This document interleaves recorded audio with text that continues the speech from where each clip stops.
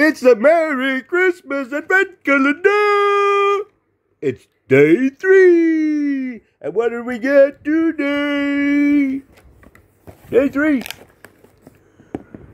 A stretchy, wormy thing. How exciting. Oh, it's so fantastic. There's a thousand things you can do with this. Can't name one, but hey. it's the Merry Christmas Advent Calendar! Come back for more! Day four!